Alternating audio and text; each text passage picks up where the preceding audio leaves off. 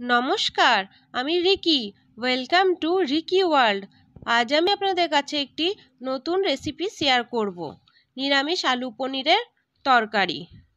আমি যেভাবে বানাই, সেটাই আজ আপনাদের কাছে আমি শেয়ার করব। তাহলে চলুন শুরু করা যাক আজকের রেসিপি প্রথমে পনিরে নুন হলুদ মাখিয়ে নেব। যেহেতু পনির খুব নরম হয়, সেহেতু হালকা হাতে মেখে নেব। তা না হলে পনির ভেঙে যাওয়ার ভয় থাকে। এবার আমি একটি ফ্রাই প্যান গরম করে নেব। তারপর তেল দেব। তেল গরম হলে আলুর টুকরোগুলো দিয়ে দেব। আলু এবার আমি ভালোভাবে ভাজবো। আলু আমি ভালোভাবে ভেজে নিয়েছি। এবার এগুলো তুলে নেব। এবার দেব পনিরের টুকরোগুলো।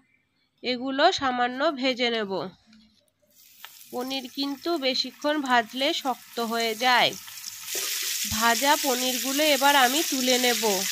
এই তেলের মধ্যে দিয়ে দেব লবঙ্গ, এলাচ আর দারচিনি। তেজপাতা দিয়ে দেব। দিচ্ছি সামান্য পরিমাণে হিং। আর দেব গোটা জিরা। তেলে সামান্য নাড়াচাড়া করে নেব। এতে গন্ধটা ভালো আসবে। এবার থেতো করা আদা দিয়ে দিচ্ছি। আর দেব থেতো করা কাঁচা লঙ্কা। তেলে নাড়াচাড়া করে নেব। যাতে আদা আর কাঁচা লঙ্কার যে কাঁচা গন্ধ থাকে, সেটা যেন চলে যায়। এরপর তেলের মধ্যেই হলুদ লঙ্কা গুঁড়োটা দিয়ে দেব। এতে রঙটা ভালো আসবে। দিচ্ছি জিরা গুঁড়ো। এরপর নুন। আর দিয়ে দেব টমেটো। নুন দিয়ে দিলে টমেটোটা তাড়াতাড়ি সিদ্ধ হয়ে মশলার সাথে মিশে যাবে। এবারে সব উপকরণ বেশ নাড়াচাড়া করে নেব। আঁচটা মাঝারি করে দিচ্ছি। সব উপকরণ আমি নাড়াচাড়া করে নিচ্ছি। টমেটো সিদ্ধ হয়ে মশলার সাথে মিশে গেছে। এবার ভেজে রাখা আলুর টুকরোগুলি দিয়ে দেব। মশলার সাথে আলু আবার নাড়াচাড়া করে নেব। এরপর জল দিয়ে দেব। যদি মনে হয় আরও নুন লাগবে তাহলে এই সময় দিতে পারেন। গ্রেভি ফুটে উঠলে ভাজা পনির দিয়ে দেব। সব উপকরণ মিশিয়ে নিচ্ছি। এবার এটাকে ঢাকা দিয়ে রেখে দেব দশ মিনিট। আঁচটা মাঝারি ছিল, কমিয়ে দেব।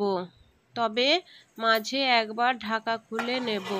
সব উপকরণ নাড়াচাড়া করে দিচ্ছি আবার এটা ঢাকা দিয়ে হতে দেব। দশ মিনিট পর ফিরে আসলাম। এই রান্নাটির গ্রেভি কিন্তু বেশি থাকবে না। আলু সিদ্ধ হয়ে গেছে।